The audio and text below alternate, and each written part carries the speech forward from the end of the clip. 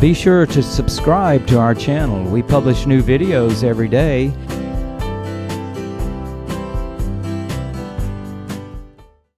watching his videos, gods and demigods and incarnations. And my children grew up watching those videos. And my elder daughter, Radharasa, also felt some connection with Maharaj just by watching these videos. And um, that, that impression of Tamal Krishna Maharaj that, that stayed with us throughout our Krishna consciousness, uh, how powerful he was, but yet he was a puppet in Srila Prabhupada's hands. And that is something that was quite um, quite amazing for us. Was such a powerful personality, but when Prabhupada would speak to him, he was a puppet. He was a puppet in Prabhupada's hands. And that's something that I aspire for, to actually be the puppet my Guru Dev's hands, to be a puppet in Srila Prabhupada's hands. And um, I offer my pranams to, to Srila Gurudev every day. Um, as part of my daily sadhana, I offer my pranams to him. And, and I pray to him that he could give me the inspiration to be surrendered to Srila Prabhupada and to my Guru Dev. Um, of course, even a drop of the surrender that he has for Srila Prabhupada is great.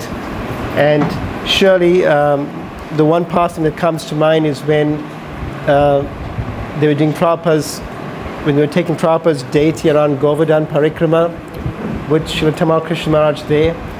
And I was told that by certain devotees who were there that Tamal Krishna Maharaj's uh, tears were coming out of his eyes, but his eyes were knocking off, the, the tears were knocking off his glasses. The tears were actually knocking his glasses off his face. That's tears of ecstasy.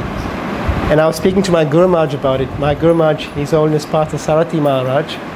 And I was saying, and I was asking, you know, how, how does one have that kind of um, feelings with Srila Prabhupada? And my, and my Guru Maharaj told me, he said, that, that's ecstasy, that's spiritual ecstasy for your Guru Dev.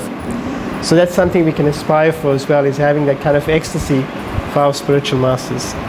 So uh, on this very auspicious day of Srila Tamal Krishna Maharaj's Vyasa Puja, we can pray to have a drop of that ecstasy that he has for Srila Prabhupada and have a drop of the love that he has for Srila Prabhupada so that we can nicely serve Srila Prabhupada in his mission. Srila Tamal Krishna Goswami Maharaj Ki.